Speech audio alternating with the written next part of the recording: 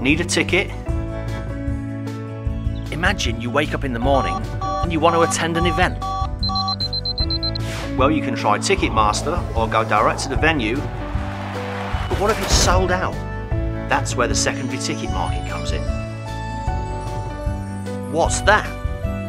The secondary ticket market is organisations like Ticket Liquidator, along with consumers and ticket resellers.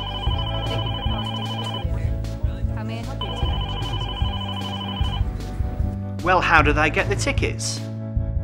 Just like you. Pre-sales, season tickets, fan clubs. Ticket brokers sitting in front of their computer at 10am on a Saturday morning. Brokers and individuals then list their tickets on ticket exchanges like Razorgator, StubHub and Ticket Liquidator. Ticket Liquidator doesn't own, price or ship the tickets. When you buy a ticket, the order goes to the seller, who personally handles the transaction, but we guarantee your transaction. But why the high prices? Tickets on resale sites sell for market value. Market value is based on an event's popularity. If demand is high, seats will be listed at a higher price.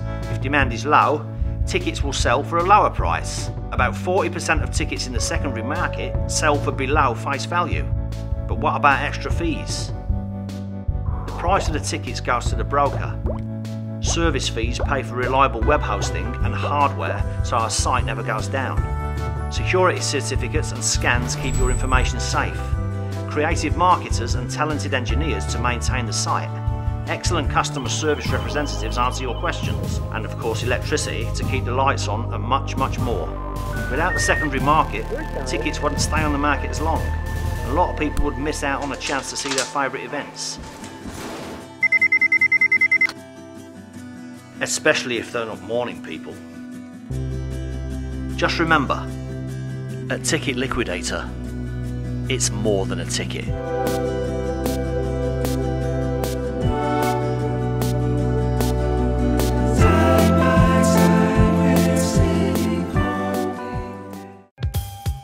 More tickets, better service, and lower prices. Ticket Liquidator.